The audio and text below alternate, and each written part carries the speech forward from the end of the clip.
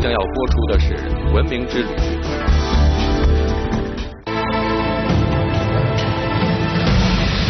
他是温文尔雅的大学教授，游走于科学与人文之间。虽然人生中大半时间是在做工程师，却在实验室之外拥有丰厚的人文素养。他游历海外三十年，足迹遍及亚欧美非，对各种文明如数家珍。东亚、西亚和东欧其实是现在世界上很重要的地方，也是历史上和人类的文明起源的地方。他有行者的胆识，学者的睿智，文人的胸怀。他跨越了专业知识和社会科学的界限，着力推行中华文化。文化的载体一定是语言和文字，语言是单音字，是用方块字的形式来表示。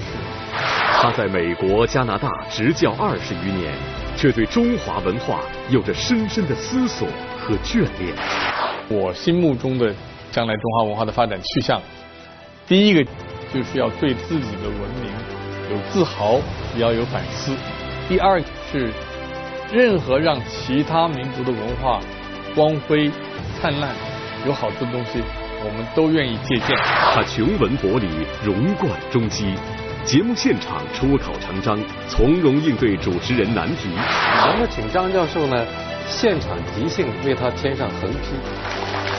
假如我不谦虚的话，我的横批叫做当之无愧；假如我谦虚的话，我的横批叫做但愿如此。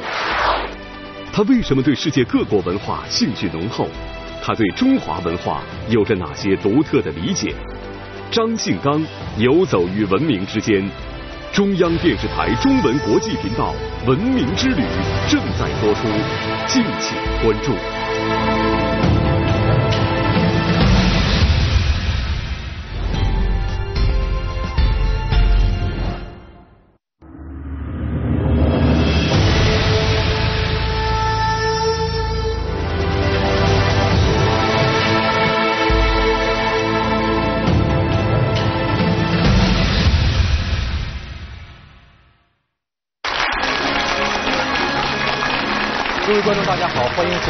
期的《文明之旅》，我是杨瑞。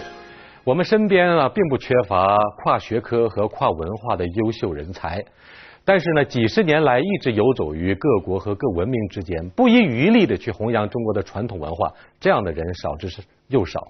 那么今天我们非常荣幸的请到了香港城市大学前校长张信刚博士，他的奇特不凡之处就在于他本人是土木工程博士，同时又是生物医学博士。那么，为什么他在香港期间被誉为是文化校长呢？接下来，让我们通过大屏幕来了解一下今天节目的主角。他是温文尔雅的大学教授，一位游走于科学与人文之间的诗意行者。虽然人生中大半的时间是在做工程师，却在实验室之外拥有丰厚的人文素养和广泛的海外游走经历。他就是被誉为文化校长的。张信刚，张信刚一九四零年出生于辽宁省沈阳市，八岁离开大陆，从台湾大学毕业后赴美深造，在美国、加拿大著名大学任教二十余年。他通晓中英法文，曾任美国生物医学工程学会会长、英国皇家工程学院外籍院士。虽然以理工立业，但他在文化领域也游刃有余。他经常对社会、文化、教育等发表见解，出版了《尼罗河畔随想》等数本散文集。在海外生活将近三十年的张信刚，一九九零年选择回到了香港，在香港城市大学担任了十一年校长。他着力推动中华文化教育，组织两岸三地学者编纂中国文化导读，为青年学子提供中国文化基础读本。他在电台主持人文节目《张信刚随想曲》，广征博引，阐述了自己在世纪交替的诸多思考。他举办的城市文化沙龙高朋满座，可谓群贤毕至。白先勇、汤一介、李欧范、诺贝尔文学奖得主土耳其作家阿尔罕·帕慕克等都是主讲嘉宾。张信刚游历世界，找寻各种文明兴衰的轨迹。他相信科技与文化可以融合，东方与西方可以相互学习。他带领学子游走于世界文明之间，更希望复兴中华，相期于明天。下面让我们用热烈的掌声欢迎我们今天这期节目的主角——香港前城市大学的校长、著名学者。张信刚博士，有请。欢迎。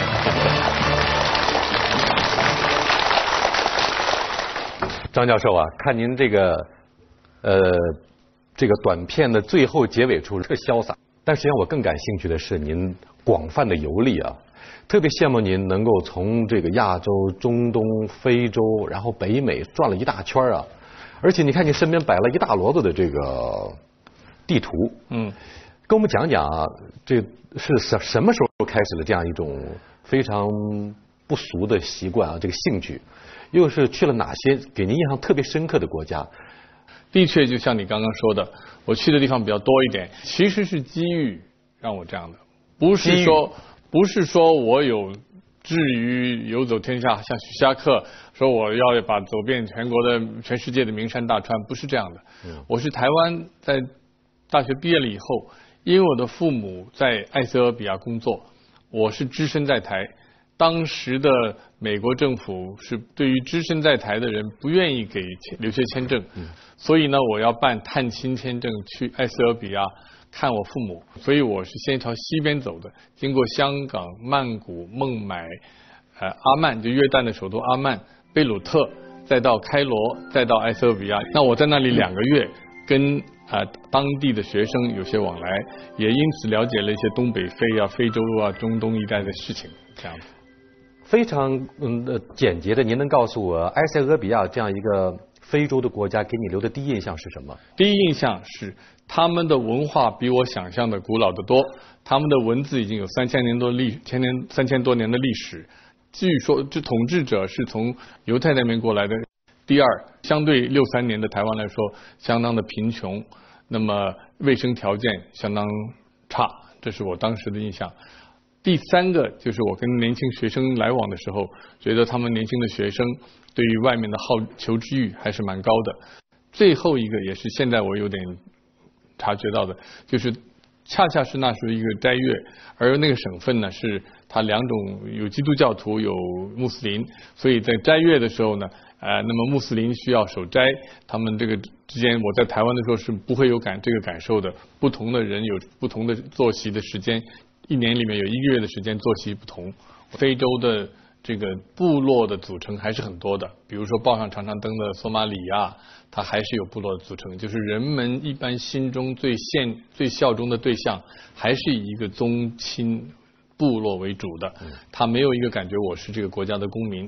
工作生活上有一部分游牧的，即使在埃塞俄比亚，因为地形的关系，不是他们人本身落后，是因为他们的地理位置使他们没办法做出来，比方灌溉呀或者怎么样，所以它有一部分是耕的，一部分是牧的，耕跟牧之间偶尔也会有一些不同的文明的冲突。从我的总观察里面，欧洲人到非洲去，当然是最早是以。殖民者的身份去的，从葡萄牙人开始，他们把他们的一些文明带到非洲去，因此使非洲有了其他的发展的方向，也朝近代化推进了。他们觉得这是他的功劳。可是，在这过程中间，尤其是在去殖民地的过程中间，他也产生了把不同的部落硬给画条线，把人家这个同样的民族分成两边，不同的民族这样子，引起今天的很多动乱。这些动乱呢，是殖民主义的后祸。您这一路的走来，我发现呢，在您的游历当中，您对土耳其情有独钟，为什么？还是机遇，因为我有个好朋友是生物医学工程界的，他知道我对历史地理有兴趣，他第是他说我我这么多人生物医学工程师里第一个告诉知道能知道土耳其人的语言是来自于蒙古高原的。是我。他说，所以呢，他说你应该去我的国家看一看。我就在土耳其住过半年，在那个海峡大学半年，那个海峡大学在海峡上，我的住的地方在海峡的西边，就是欧洲。我上班的办公室就在海峡的东边，就在亚洲，所以我一天来回亚欧亚洲两次。那么我就知道，当初古时候希腊跟波斯的对峙，就是东西的对峙，是在那个地方发生的。古希腊的和希腊化时代的好多文明的考古东西都在今天土耳其领土里面，这是很重要的一点。后来再过一阵，拜占庭帝国跟波斯帝国有这个来往和对峙，以及我们这个丝绸之路，丝绸之路上许多的货品都是经过那个地方，经过黑海的北岸，以及经过土耳其的呃南边一点的地方，今天叙利亚地方传到欧洲去的。所以那真是东西交汇的地方，这是第一点。嗯。还有一点就是，土耳其在最近五百年里面，曾经是一个奥图奥斯曼大帝国，曾经是跨欧亚非北非的突尼西亚，包括摩洛哥都是北岸北部都是奥斯曼帝国的。十九世纪的时候，他们有丧权辱国的情况，有跟外国借债的情况，有领事裁判权，有这个呃等等，就是跟我们清练的中国近代史很像。到了一九二几年一次大战之后，他们出了一个。他们的民族英雄叫做土耳其人之父泰莫尔，他提出来的一个政策要他要改变，所以他放弃了帝国。那跟中国的一步一步展开了恢宏的世俗化的一场革命，跟我们中国的从洋务运动到到这个戊戌政变到辛亥革命到后来的一系列的这个改革改变是有相近的地方。所以土耳其除了是文明始源。也是东西文明交汇的地方之外，又是中东最重要、人口最多的国家之外，跟中国有相似的地方。我早些时候听您讲过哈，中国的学者虽然很了解一般意义上的西方和世界其他地方存在的知识上的逆差，相对于西方对我们的了解来讲，是我们的很多学者和学生对于喀什以以西和维也纳以东这一块地方，似乎形成了知识上的真空。是的。多半我们的知识结构里面，对于因为最近两三百年来西欧比较强盛，也是从海盗来跟我们来海路上跟我们来，甚至四百年前的利玛窦就是从海上来的欧洲人，西欧的最西嘛，葡萄呃意大利那边来的。所以呢，我们对于欧洲比较知道一点，但是对中亚、西亚以及东欧就不知道了。中东亚、中亚、西亚和东欧是什么地方？就是你刚刚讲的很准确的，就是喀什以西。维也纳以东，或者是呃多瑙河以东，那么这一块地方呢，其实是现在世界上很重要的地方，也是历史上和人类的文明起源的地方，都包括在内了。但是我们的知识结构里知道少一点，要是知道的话，也是知道美索不达米亚是人类起名起源，知道吗？呃，埃及是很古的。对于德国哪个皇帝，对法国哪个皇后，对英国什么将军都首相都知道，但对这些地方知道少。您走过这些地方，呃，讲到了土耳其是吧？埃塞俄比亚、美国，您还去过印度，去过埃及对吧？呃，我希望您给大家解解讲解一下哈，这些游历有哪些？特别发人深省。呃，如果要是能有一些非常有意思的故事哈，我们更愿意跟你一块儿分享，好吗？那我要考我地理了。这个这是北京啊，那我是从这里出发的，这么一路绕道，这样子经过这个是孟买到这个，这就是土耳其啊，这一绕的，这是叙叙利亚、黎巴嫩、埃塞俄比亚在这儿。非洲之角，非洲之呃非洲之角，这这个地方就非洲之角。今天这个这个海盗猖獗的地方就是海就在这里。有海盗非常的猖獗在这个地方。海盗猖，今天当时没有那么危险吧？没有，那是亚丁那时候是属于英国的。那时候也门有分南也门、北门、北也门。然后我就这么沿了这个路去了希腊，呃，到了这个希腊的这个奥林匹克山。然后到了意大利的罗马，然后到了苏黎世，就是瑞士的苏黎世，然后到了巴黎。我打断一下您，张教授哈，我有很多问题问您。您刚才这个光标游到了希腊，嗯，我去采访过，我在雅典采访过希腊的总理卡拉曼利斯，他说的在北京就像在雅典，你翻开大街小巷，每一块的石头底下都是五千年的历史。您去过希腊，您感到那里的人文的？氛围、人文的含量跟中国相比，是不是有很多的相似之处？当然了，都是古文明，而且从耳濡目染，每个人都会知道一些古老的故事。比如说希腊小孩几岁就知道啊《伊利亚德》啊《奥迪赛》这些故事，就是这个飘荡啊等等这些故事。就像中国的小孩对三国呀、对是什么这个《封神榜》啊都知道是一样的，类似的事情。那么继续说，那好了，那么我然后从巴黎坐飞机就坐了，越过越过大西洋就到了这里。那么我在这里生活了二十八年，再回到香港。你刚刚提到，就说我对土耳其为什么这么情有独钟？嗯，呃，说情有独钟的话也不是准确的，就是土耳其它的重要性我已经刚刚说了。可是去了之后，变成对它情越来越重了。比如说，我曾经在土耳其啊自己一个人游览，我有一回坐出租车。在伊斯坦布尔就把手机落在车上了。回到宿舍的时候，电话铃响了，是一个土耳其的教授，是我一个同事，说你是不是丢了一个电话？我再说我是，你怎么知道？他说那个司机看到你电话之后，看到一个土耳其名字，他就说这个人肯定是土耳其人，就打到那个教授那里。所以我今天用的电话就是在土耳其没丢掉那个电话。路不拾遗，夜不闭户，特别令人向往的那种理想大同的和谐的社会哈。我们用掌声感谢土耳其拾金不昧的朋友。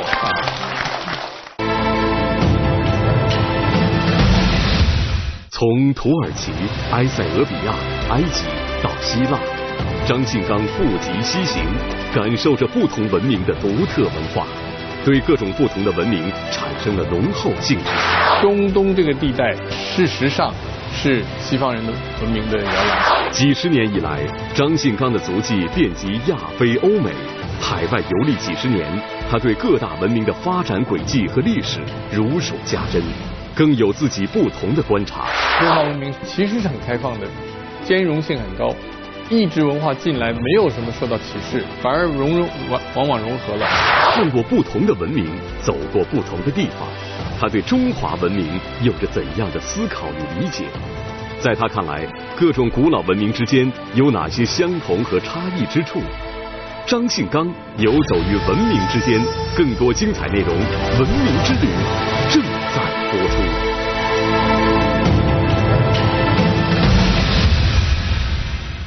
讲您对世界的游历哈，尼罗河畔的随想，咱们随想到哪儿了？尼罗河畔随想是这样子的，因为我那本书啊，它是杂乱的，没办法找到一个主题。恰恰是我因为花了一个月的时间在开罗大学做这个学术访问，那么在尼罗河，我就住在尼罗河边上，天天能够看到这个尼罗河从我的这个脚底过，我一想说六七千年的历史就这么流过去了，那么。这个希腊人也说，河永远是不固定的。尼罗河是尼罗河，水就不是同样的水了。我今天张新刚等等等等有这些随想，我就用了这样一篇文章做它的题目。开罗大学就离那个最最有名的伊萨那个金字塔只有开车不过十分钟，离那个人面狮身像也不过十分钟。埃及也是一个非常古老的文明，是除了古老的文明之外，他们的。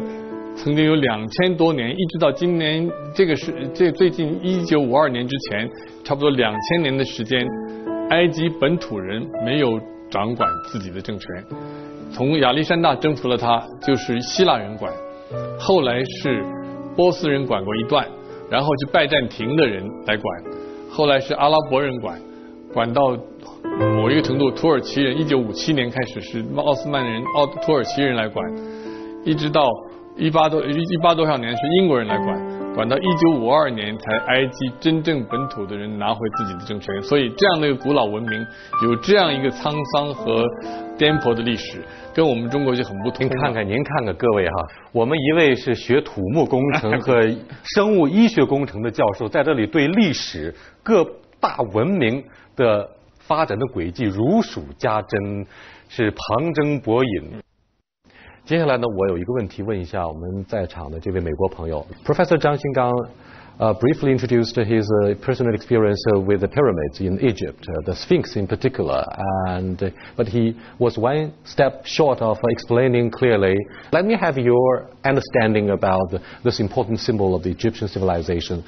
Well, the, the Sphinx is a is a famous symbol, obviously. What it's become to symbolize is is that there is history stands the test of time. Uh, it, it is it is something that we all relate to. No matter what culture you are on the planet, you see the Sphinx, you see the pyramids, and you say, humanity has a common heritage. Um, we don't all claim direct heritage from the Egyptians necessarily, but they are this this symbol of of history itself and um, we come out of the cradle of civilization that was in the North Africa, Middle East region, and have spread across the world and separated into different races and different cultures and different nationalities. But I think it's fascinating. Very good point。呃，非常感谢 Brandon 先生解释他对狮身人面的理解。张教授，我的问题是，女娲补天在中国家喻户晓，但是呢，女娲是人面蛇身。 那么是狮身人面，那么把这两个重要的文明的符号放在一起，你对这个当时人类对于这个文明的理解，对人自身的理解，你有什么自己的判断？刚刚这位呃美国朋友说到了“文明的摇篮”这个字 “cradle of civilization” 这个字，嗯，我就从这里说起好吗？如果你把它一切的世界的文明分成几类的话，其中一类就是绝对是以。美索不达米亚，呃，地中海这个叫 Fertile Crescent，中文叫做肥沃弯月。新月在伊斯兰文明当中是具有对重要意义的那个地方 Crescent，西方的欧洲人他们溯源于希腊，而希腊绝对是文明是从那边过来的。因此呢，中东这个地带今天看来是战火纷纭，但是呢，但事实上是西方人的文明的摇篮。嗯，可是因为。中国是隔着一个喜马拉雅山，隔着一个塔里木盆地，隔着一个多米尔高原，所以我们的文明呢，就不是源直接源自那个地方。我们中国对于天地的制造，天地的来源呢，说盘古氏，呃，挣脱了一个东西，什么上面就一半就是天，下面一半就是地，这是我们的神说神呃呃神话。自从盘古开天辟地，三皇五帝到于今，对了，所以呢。这是中国的在对世界、对自然环境、对这个呃天文地理不清楚的时候一种神话。正有如埃及有埃及的神话，这个美美索不达米亚有美索不达米亚的神话。可是，在中东那个地方的神话呢，慢慢在四千多年前就有一个人叫亚伯拉罕，就 Abraham，他就说。其实只有一个神，他用七天的时间造了天地，这就是犹太教、基督教和伊斯兰教共同的信仰，就是这样造天地。而我们中国呢，有这个有另外一个，比方说我们有这个《山海经》，对于这个，所以这文化中间是有不同的，但是都是一个必然的经过的阶段。它是一六三九年印的，一六零一年立马进到北。利玛窦到北京的，所以利玛窦到了北京之后，曾经替明朝的政府、替万历皇帝做了一个昆舆展览图。这一张地图对我说来，是说明了，在一六三九年，也就是牛顿呃发明力学三定律的前几十年的时候，欧洲的文明本来在中世纪相对落后的时候，经过了文艺复兴以后，他们就勃然兴起，在到了世界各地。到了南美洲，到了马六甲海峡，到了珠江珠江口。一五三四年，葡萄牙人已经占领了日本的长崎。那么一六三九年的时候，对世界知道很清楚了。而一六三九年的时候，就是中国的明朝末年的时候。我相信绝大多数的知识分子是不知道有这么一个地图的，也不不但不知道地图，这个地图上内容是不知道的，只知道扶桑在东边啊，西域是知道的，这个内容不知道。经过这三百多年来，这个经过一个很艰辛的过程，我觉得位于太平洋滨的中华民族呢，现在追上了。中华文化的特点能不能呃非常耀眼不凡、简单明了的给大家做一个你自己的归纳？我先说一个小小开玩笑的话，我如果很容易的就答应。我说能做的话，这已经不符合中华文化，不够谦虚。我我不知道这掌声是鼓励您谦虚还是不谦虚哈？所以还是想来。你们是要我谦虚一点还是不谦虚一点？这个问题，哎，问题不是没想过。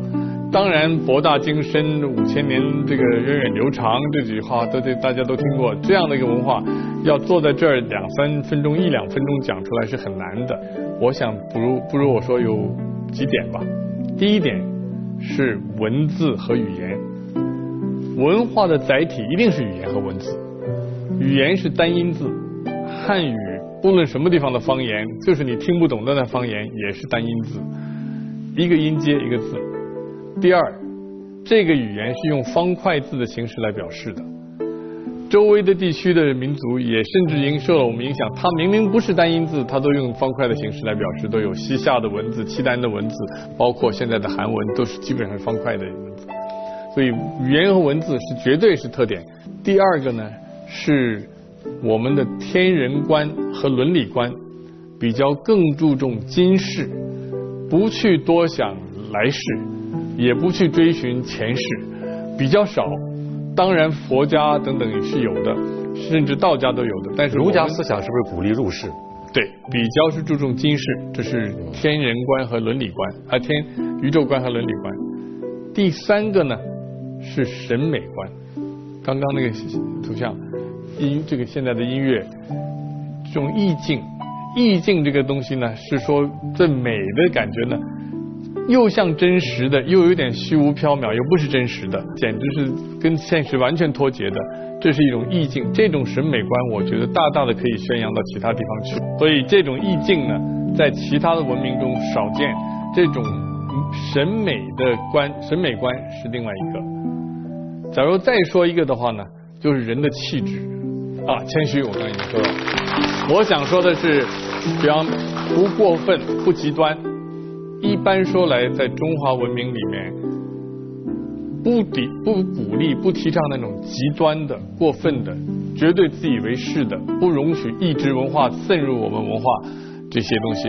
比方中华文明其实是很开放的，兼容性很高，异质文化进来没有什么受到歧视，反而融融往往往融合了。这就在这一层，最后一层呢，就是我相信是对宇宙的这个。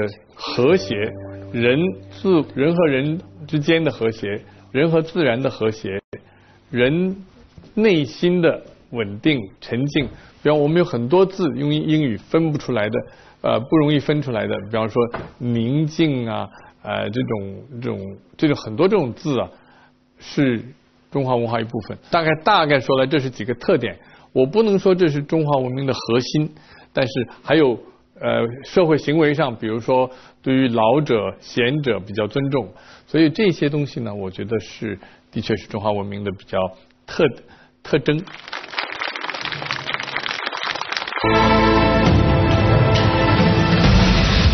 他在美国南加州大学、加拿大麦基尔大学等高校任教二十余载，却在知天命之年选择回到香港。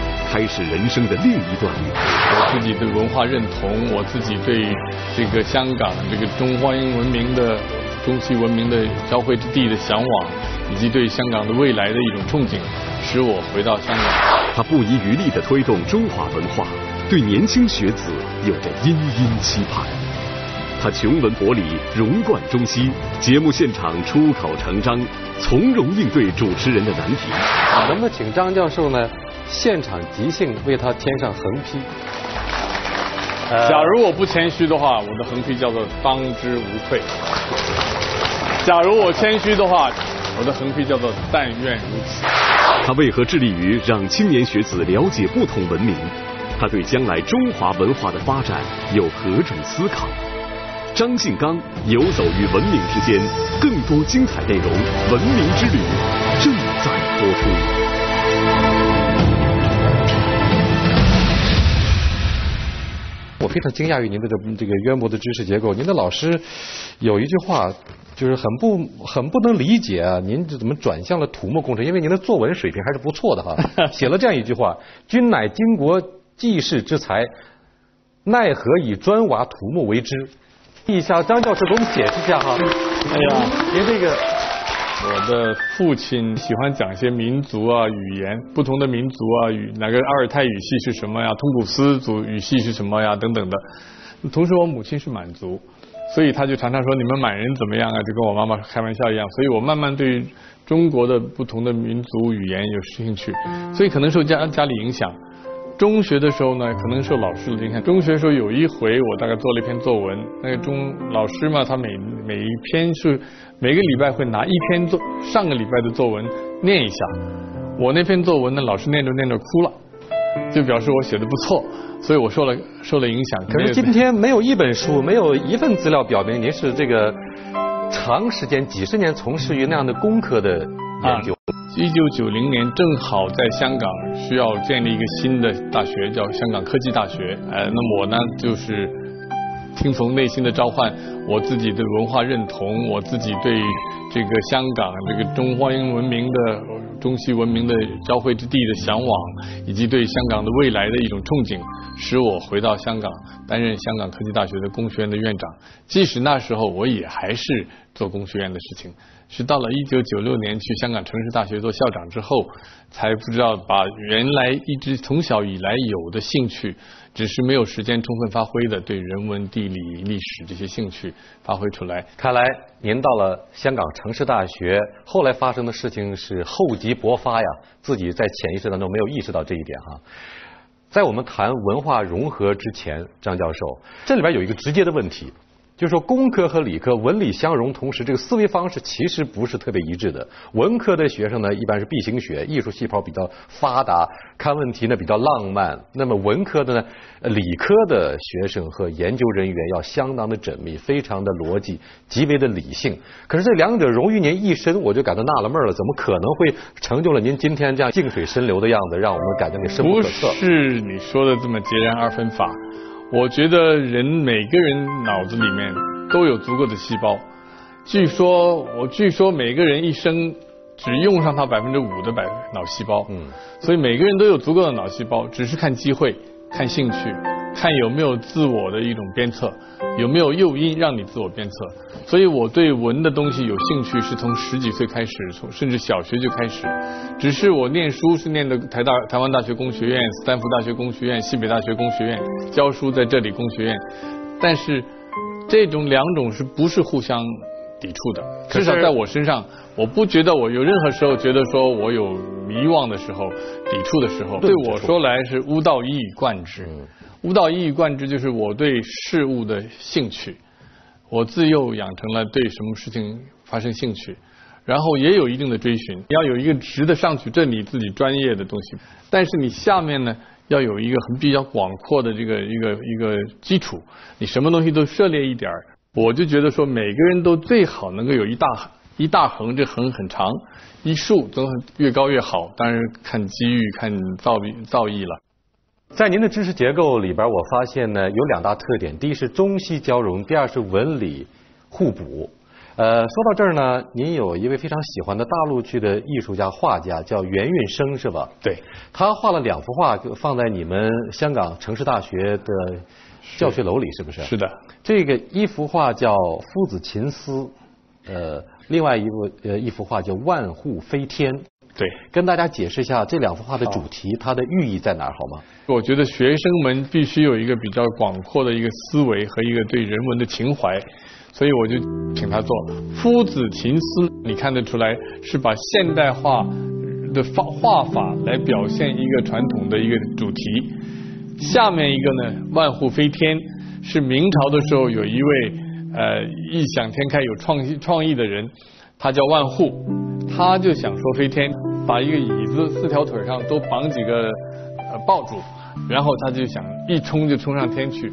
他这个时间跟达芬奇是差不多的，达芬奇也想升天，就发明鸟翅膀，做了一个鸟翼机，但是万户也没成功，达芬奇也没成功，原因是什么？就是因为他们没有学在学到现代工程，没有学流体力学。我从来都觉得学生应该有更广，就是这个，我还是这个一一杠一横，从来都希望加强这个。中国的教育呢，从我从小以及到现在的观察呢，仍然是老师的师道尊严比较强，因此老师呢，一般他们把学生还是当做一个要把着手拿着一个一个小匙羹来去喂的一个一个对象。可是在美国的整个社会制度下呢。他因为给学生很充分的自己表现的机会，因此呢，最差的可以差到一塌糊涂，但最好的可以好的很好。在很好的情况下，这些人所创造出来的知识、财富和思想，就能够带动整个社会。这个是我一个比较过，可能是过分简单，但是我在呃中国社会和美国社会差不多正好一半一半的时间呢，让我觉得有这样一个有这样一个印象。说到您的知识结构，说到您这个踏遍祖国的山山水水，游遍了。各主要文明及文明中心哈，您的朋友送给你了上下两联儿啊，不知道是不是浓缩了您您的知识和您的游历，叫粤欧丽美即反湘江成庐论道写人生，这上联儿下联儿叫穷理博文学贯中西杏坛传经章风采，是这样吗？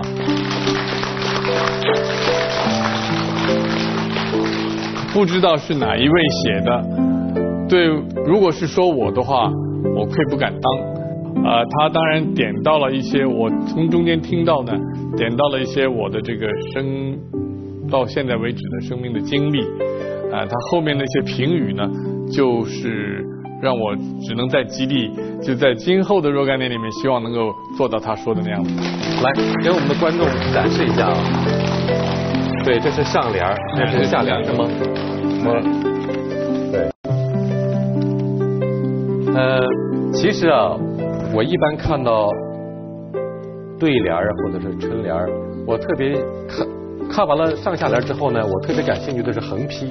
能不能请张教授呢，现场即兴为他添上横批？假如我不谦虚的话，我的横批叫做“当之无愧”。假如我谦虚的话，我的横批叫做“但愿如此”。那也许呢，呃，在座的很多，特别是学生，还真的就用不着呃远游远足就可以了解世界文明。据说张教授您在不遗余力的推动世界文明，有有一个系列丛书，是不是？呃，我有这样的构思，就是说。中国文化导读已经出来了，再找一批世界上的学者，属于不同文明系类类别的学者，共同能够坐下来拟一个大纲，写一个世界文明的简史或者简介，是作为一个大学生，至少是香港的大学生的一个理解，一个一个一个通识的课程。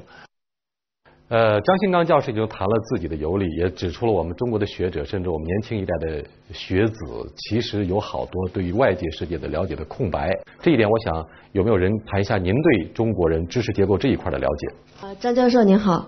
呃，是这样的，因为我之前在国外也生活过一段时间，之前也有去过新加坡呀，像像日本一些国家。我觉得我们中国应该还是一个很传统的一个国家，就是说我们的文化应该还是比较单一的，一切都是以汉文化为主。但是相比像新加坡、香港，包括像澳大利亚，我觉得它的文化应该就是比较多元化的。对外的交流虽然现在多了很多，但是我觉得相比起来，其他的一些西方国家可能还是要少一些。这是这样子，因为在几千年的时间里面，在我们今天的中华大地这块上面，已经通过了很多时间的糅合和融合，变成了比较好像单一了。但是它的来源也不是单一的，比如说。佛教的进进入，刚刚讲到丝绸之路，佛教已经深入了中国的基理，和没有一个人的中国的生死观和宇宙观不受到佛教影响的。我们都有了涅槃的境界哈。嗯，不敢说，不敢说。但是呢，这是一个，所以这是第一点。第二点呢，我很坦白说，我在欧美也看到，这个知识信息的不对称呢，其实真正说来是中国人对。外国的了了解和兴趣要强，欧美国家的人知识分子对东方的了对中国或者东方的了解要弱，但并不等于说我们知我们的知识很准确已经很足够了。所以我自己想点评一下，像新加人口结构是很重要的。在中国这国家里面，百分之九十四的人都是汉族。汉族它不是一个单一的部落演出来的，是许许多多的部落经过几千年的融合。这恰恰是说明了，我觉得的中国的文化里面有兼容性和包容性。兼容性、包容性到了半因为兼容光荣就互相就混了，混杂之后已经把这个硬面软面什么面都混在一块儿，揉合成一锅稀面。那这个面呢，就是你说的单一，是经过了这个过程。可是，在新加坡说了，它还没柔和，还有马来的，还有印度的，还有汉族的，还有外国英国来的，所以四个东西都得用，因为它还没有柔和。所以新加坡是只有两百年的历史，这边是几千年历史，因此这两个这个现象是准确的，理由是我觉得是这样子。那我想，如果在座的各位也想成为这个取得张教授这样的学术成就，有他这样的一种令人非常羡慕的知识结构，那么在知识经济的今天，在一个信息化的今天、全球化的今天，我们能做到这一点吗？我想请其中一位呃大学生站起来回答这个问题。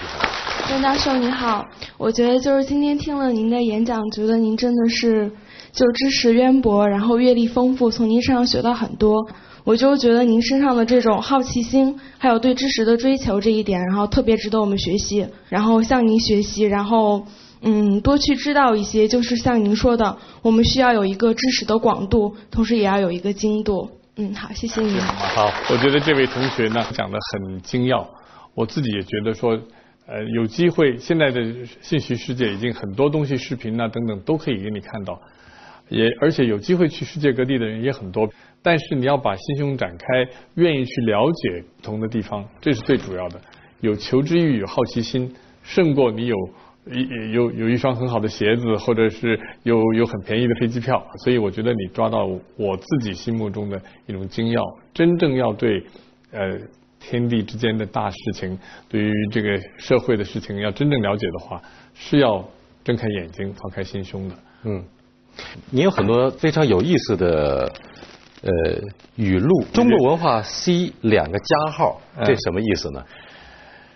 啊，这个是这样子的，呃，在电脑的软件里面，八十年代里面有一个很重要的电脑语言叫做 C，后来这个 C 啊，经过几次大改变之后更有用了。今天到现在为止，做软件的人还都必须要学 C。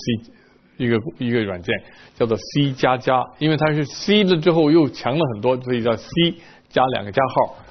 我们中华文化呢，C 是 Chinese culture 的意思，中华文化，中华文化就是都是这两个字都是 C 字打头的，是 Chinese culture 就是 C。那么我借用一个万维网时代的电脑的语言这个符号来表明我心目中的将来中华文化的发展去向。第一个加号就是要对自己的文明有自豪，也要有反思。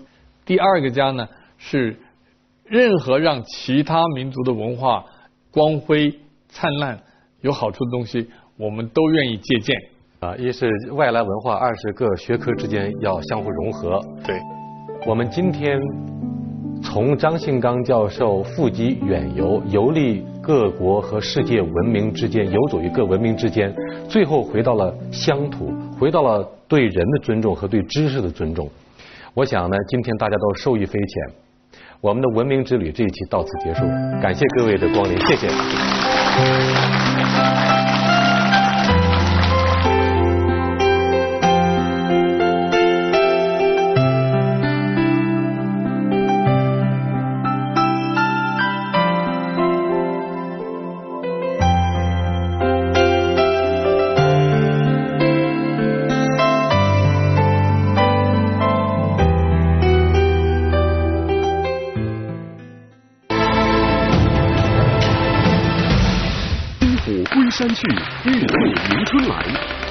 之旅春节特别节目，带您领略原汁原味的中国年文化与国际上不同文明背景下的节日习俗。什么叫年呢？新年快乐！春节从何时开始，又到何时结束？春节的日子大概有一个半月。腊八开始是序曲。福字到底应该正着贴还是倒着贴？冯骥才有个解释。他说：“这玩意儿啊，不能贴在大门上。”回家，回家，是什么力量让游子们越过千山万水，风雨无阻回家团圆？不顾千里万里，不管风霜雨雪，要奔回家庭团圆。中国家里只有一个孩子，所以第一个是要不得不回家，否则的话没有人陪爸爸妈妈。从新年序曲《腊八》到新年尾声元宵节，文明之旅带您饱览春节民俗风情，体验全面完整的中国传统新年，与国际友人一起过大年。希望我们这个叔叔叔身体健康，每年我们跟他叔叔一起过年。文明之旅春节特别节目近期播出，敬请期待。